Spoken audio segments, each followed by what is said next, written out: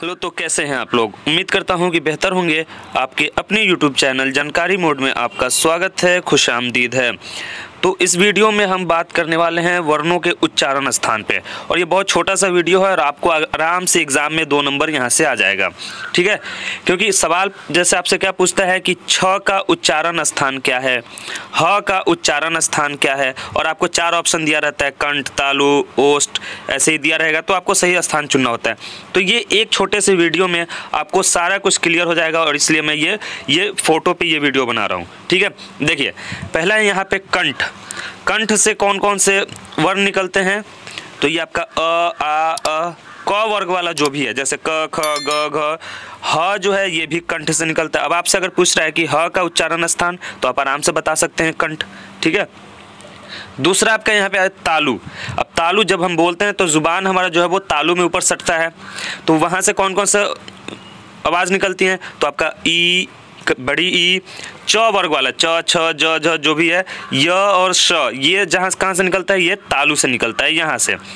उसके बाद आता है आपका मूर्धा, या जिसे मूर्धन्य कहते हैं। हम लोग पढ़ते थे तो इस वाले स को बोलते भी थे, मूर्धन्य स। बोलते थे? तो वही, ये मूर्धन्य होता है, जिसमें री और ट वर्ग वाला, ट, ठ, ड, ढ, जो भी है। तो ये आपका कहाँ से आता है? तो ये निकलता है मूर्धा से। श भी मूर्धा से। अब आपको दे दे कि ट का उच्चारण स्थान तो आराम से बता सकते हैं मूर्धा। ठीक है?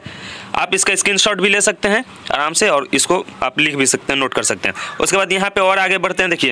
यहाँ पे नसिका नाक जो है तो नाक से कौन कौन सा शब्द निकल रहा है? तो अन, उसके बाद ये न न, म, ये सब भी निकल रहा है। दंत मूल से ये दो हैं, जो आपको याद रखना है, र और ल, ठीक है? फिर दंत आता है आपका। तो इसमें आता है, दंत में आता है आपका, त वर्ग और स। त थ, द, ध जो है, ये कहाँ से निकलते हैं? दंत से। क्योंकि त, थ ऐसे जब आप बोल रहे हैं तो आपको ज़ुबान जो है वो दांत में टच होगा, सटेगा, उसके बाद ही ये जो वर्ण है वो निकल पाएँगे। ठीक है?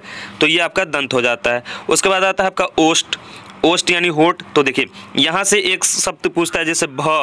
बोलता है कि भ का उच्चारण स्थान बताइए। तो भ आप जब बोल रहे हैं तो आपका दोनों होठ सटता है। तो ये देख लीजिए, प वर्ग जो है वो ओस्ट से निकलता है। प, फ, ब, भ, ठीक है? म तो चला जाता है नसिका में आपका, ये भी याद रखना है। वैसे ही अब ये दंत ओस्ट मिलके जब निकलता है तो ये वो निकलता है, ठीक है? तो ये उतना नहीं इम्पोर्टेंट है। आपका जो इम्पोर्टेंट है, वो है आपका कंठ, तालु मूर्धा, नसिका, दंत और ओस्ट। ये जो है, ये इंपॉर्टेंट है। आप इसको नोट कर लीजिए कि कहाँ से कौन निकल रहा है और आराम से आप बना सकते हैं एग्ज़ाम में। उम्मीद है कि वीडियो आपको अच्छी लगी हो तो वीडियो को लाइक करिएगा शेयर करिएगा अपने दोस्तों के साथ। चैनल पर नए हैं तो सब्सक्राइब कर लीजिएगा। मिलते हैं अगली वीडियो में। तब तक के लिए good bye thanks for watching जय हिंद।